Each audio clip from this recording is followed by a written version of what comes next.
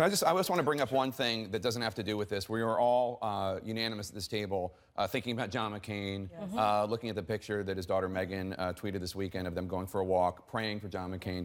Um, there, there is one person who, uh, Kelli Ward, uh, who challenged John McCain in the, in the primary in 2016, is now going to run against Senator Jeff Flake. Uh, here's what uh, she wants the governor of Arizona to appoint her to McCain's seat. Take a listen.